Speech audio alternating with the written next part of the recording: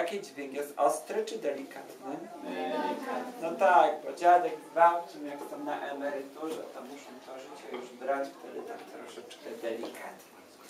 I jeszcze jeden większy instrument to patyk. Można było łowieczkę podegnać do przodku, a i można było grać na tym instrumencie było to jednym palcem, tylko ze spodku. Do tej pory my grali tak. Kane było 7-8 otworów. Ale jakby można było troszeczkę ciszej, szanowni państwo, bo my mamy prelekcje. I Jak się tu odetko, datko, to instrument gra.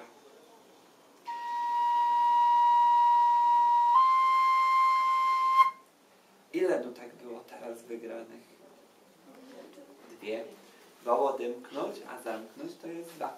Na jednym ciśnieniu powietrza. A jak będę dmuchać albo bardziej, albo słabiej, to się wygra melodię.